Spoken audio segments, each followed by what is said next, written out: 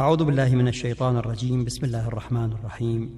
والحمد لله رب العالمين وصلى الله على محمد وآل محمد الأئمة والمهديين وسلم تسليما.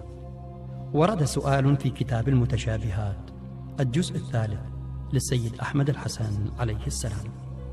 ما معنى الآية؟ أولي أجنحة مثنى وثلاث ورباع. ثم إن ثلاثة أجنحة ألا تسبب اختلال التوازن؟ جاء جواب السيد أحمد الحسن عليه السلام.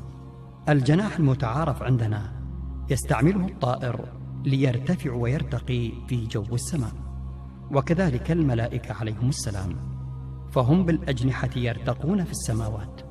وكلما زادت هذه الأجنحة زاد ارتقاؤهم وارتفعت مقاماتهم. وكل جناح بالنسبة للملائكة هو اسم من أسماء الله سبحانه وتعالى. فالملائكة مفطورون على معرفة بعض أسماء الله لا جميعها كما هو حال الإنسان. فالملك الذي يعرف اسما واحدا له جناح واحد يرتقي به. والذي يعرف اسمين جناحان والذي يعرف ثلاثة أسماء له ثلاثة أجنحة وهكذا.